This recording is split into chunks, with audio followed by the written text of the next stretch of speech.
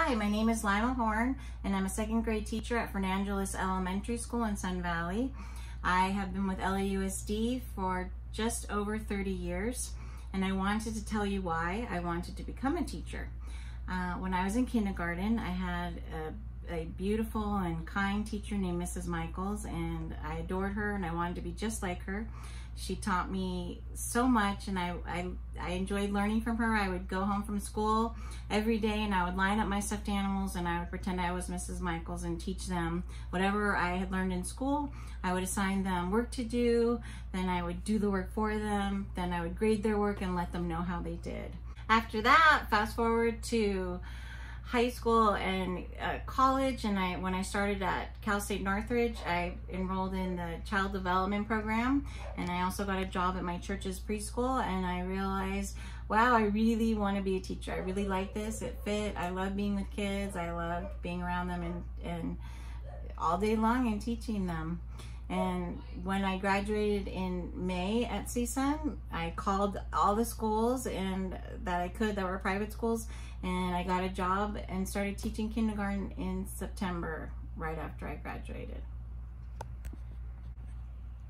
How have I promoted or strengthened the teaching profession? I have relatives who wanted to become teachers, the student teachers that I've had, uh, former former students that I've had, I always tell them the realities of teaching. It's hard work. It's it's not easy. It's not it's not a nine to five job. You get up in the morning before school and you do work. Then when you get home from work, you do work. And on the weekends you do work. There's always planning, there's preparing, there's there's gluing, there's cutting, there's always something to do and make. And if you want to watch TV at night, if I want to watch TV at night, I always have something in front of me that I'm working on. Whether it's putting books together or making bingo cards or something. I always have to be doing something. So I would tell them that's what it's like. And what usually happened after I told people the realities of teaching, the people that I knew, they went into teaching anyway and they love it. They love it. How do I involve the parents? I use Class Dojo. Class Dojo is great because when, for my Spanish speaking parents, I can send them a message and Class Dojo translates it to Spanish. And when they send me a message in Spanish, I can translate it to English so we can communicate all the time.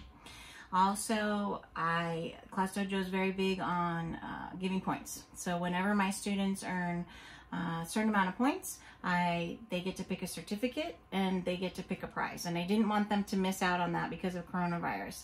I originally tried to mail everything to their house, but it cost a lot of money and it was just cheaper for me to drive to their house. I would let the parents know when I would be coming. They would meet me in the front. We'd wear our masks. We'd stay six feet apart and I would deliver their prize and certificate, take their picture, post it on Class Dojo. Everybody could see um, how everybody was doing. I also use Class Dojo to grade the students' work. They upload the picture of the work they've been doing online and I write comments and then the parents write comments back to me and then I write more comments and we have this whole dialogue together. Even though we've been online this whole time and now we're in person just since last week, I have seen the parents all year. I've talked to them, I've waved to them from my car, I've dropped so many things off. Every week I was dropping things off. So we've had this this communication with the parents and that's the way to keep them involved. And I I let them know I care about their kids and I know they care about their kids and we work together to help the kids.